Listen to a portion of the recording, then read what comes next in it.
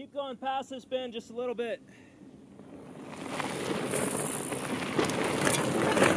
Go.